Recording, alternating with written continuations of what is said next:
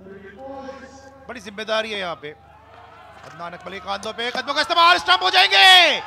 काफ़ी आगे क्रीज से निकल के खेलना चाहते थे, गेंद की लाइन को मिस किया।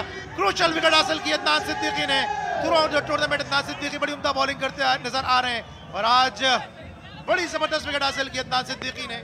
और स्टंप करने में कामयाब हो गए तौफीक उमर। बड़ा नुकसान हुआ है यहाँ पर। Prize wicket for Pindi Boys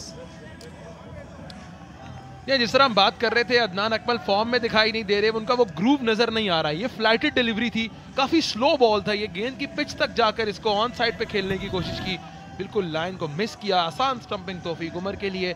Adnan Akmal की इनिंग्स का खात्मा 50 रन, तीन विकेट के नुकसान पर, बलोच वॉरियर्स